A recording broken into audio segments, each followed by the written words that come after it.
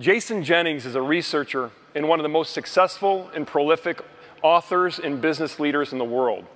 His Wall Street Journal, US, USA Today, and Business Week, and also New York Times best-selling books, several of them. Um, it's not the big that eat the small, it's the fast that eat the slow. Less is more, and hit the ground running. His latest book, and I got to tell you, I've read, I've read my share of business books, and I'm sure many of you have as well. This book has got to be in, the, in my top two, if not my top three. It's just one of the best books that I've read in, in years. The name of the book is The Reinventors How Extraordinary Companies Pursue Radical Continuous Change. Please welcome the worldwide best-selling author, Jason Jennings.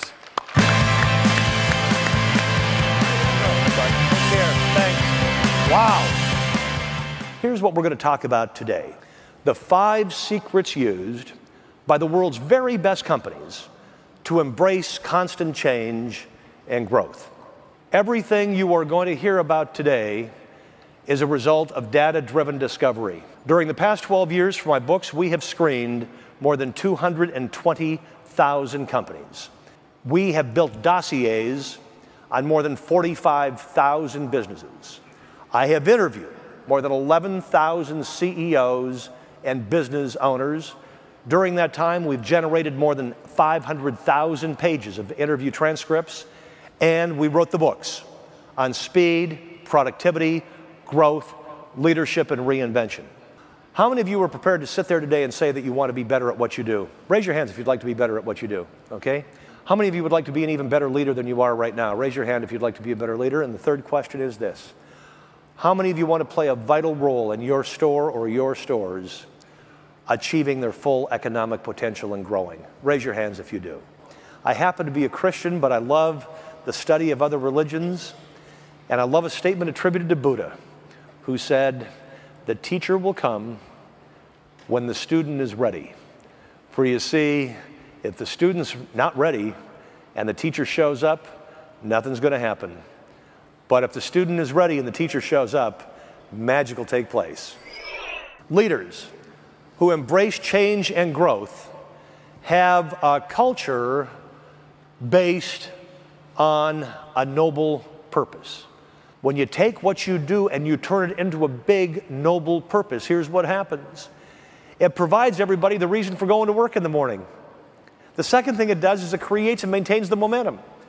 There's no reason to say, go get them, boys and girls. I mean, we got to sell a lot of stuff today because it's the big, noble purpose that makes it happen. A big noble purpose gains alignment, keeps everybody on the same page. A big noble purpose builds a culture.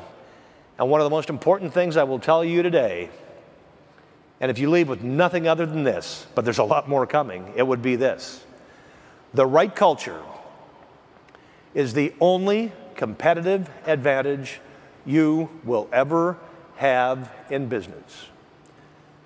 Because you see, I don't care what any store or what anyone buys, sells, does, produces, or services. Someday, what I know is this somebody's going to do it better, faster, cheaper than you. You see, there's only one thing that any business can ever truly, really own, and that is the culture of the organization. You will have a culture, and it's one of two cultures.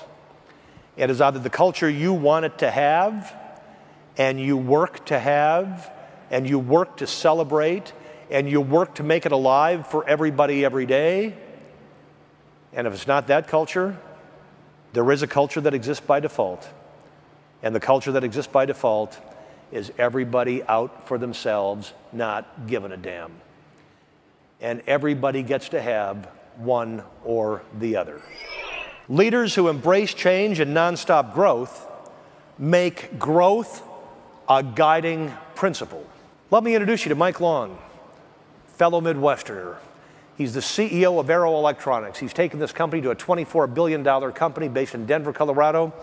They handle all the parts that go into anything electronic in the world. He's a big, big guy, kind of imposing, played football in Ohio. And I mean, you, you kind of look at him and get a little bit scared, but like most big guys like that, he's a, he's a pussy cat. He's a sweetheart. And so I'm sitting down with him for endless days, interviewing him for my book, The Reinventors. And I finally looked at him one day and I said, Mike, I got a question. I said, all you ever talk about is growth, growth, growth, growth, growth, growth, growth, growth, growth. Building new businesses, finding new businesses, buying new businesses, inventing new businesses, growth, growth, growth, growth, growth. I said, aren't you ever going to slow down? He said, I can't afford to slow down. I said, why? Is your shareholder or owner that greedy? And he said, what are you talking about?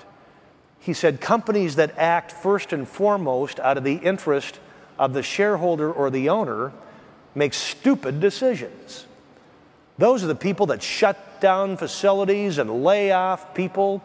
He said they're bad for everybody. He said the reason you grow is for your people. He said, Jason, I got 30,000 people here. And what I can tell you is this every one of them wants to make more money.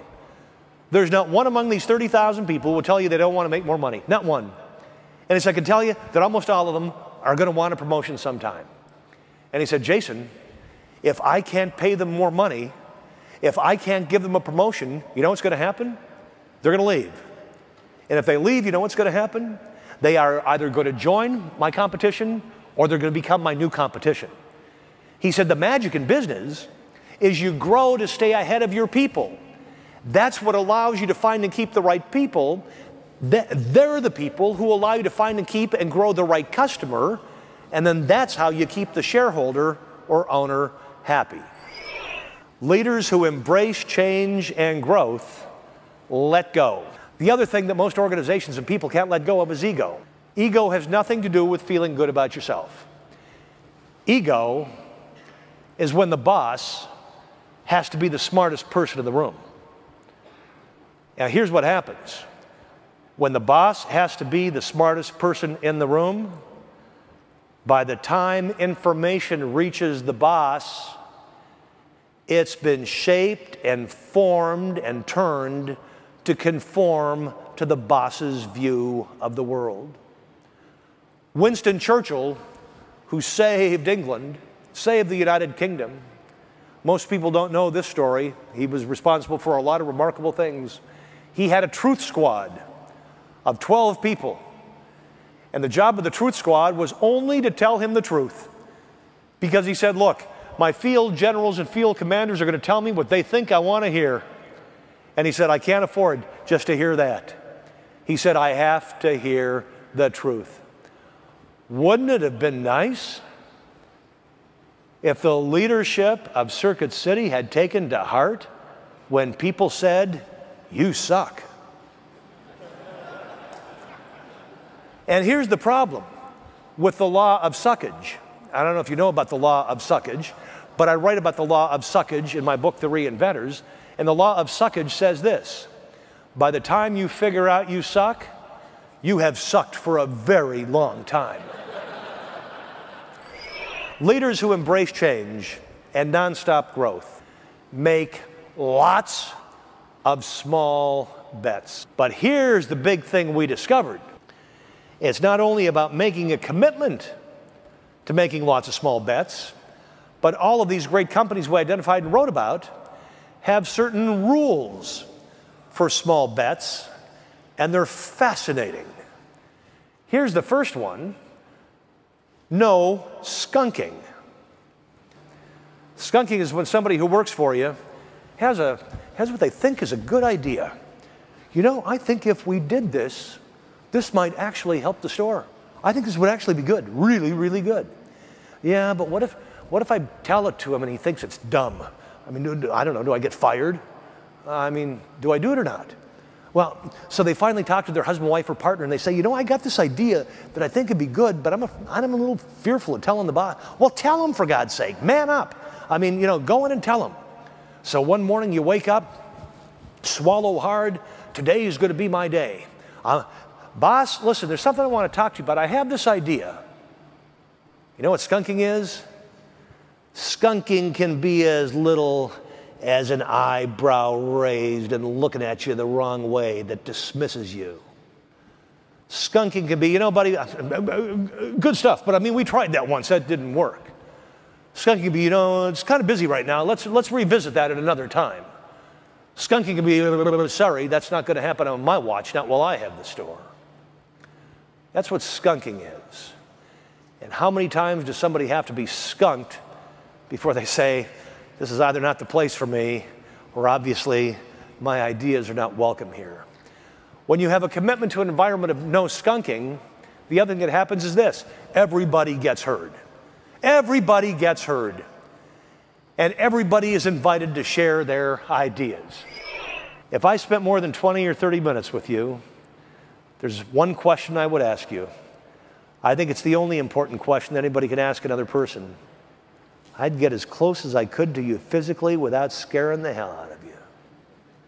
And I'd look as deep into your eyes as I possibly could without you getting the wrong idea. And I'd say, I got one question for you, just one. Speak from your heart, reveal your soul. Why do you do what you do? Because that will tell me everything about you. And in asking Bill Gates, in asking Ingvar Kamprad, in asking the Dan DiMiccos of this world, why do you do what you do? They all use different words and they say the exact same thing. And the exact same thing they say is this Why do I do what I do? Hmm. They say, you know, I guess I have no choice but to do what I do, they say. For you see, they continue, this company has given me more opportunity to grow personally, professionally, and financially than I ever thought possible would happen to me in my life. Why am I here and why do I do what I do? I have to do what I do because I have to make certain that the same opportunity that I had, everyone else here will have who's here today, and everyone who will ever be here in the future will have as well. When you do that, that is when truly the extraordinary happens. Travel safe, and I thank you so much. Oh, there's my friend. Amazing, man. this, this guy's a.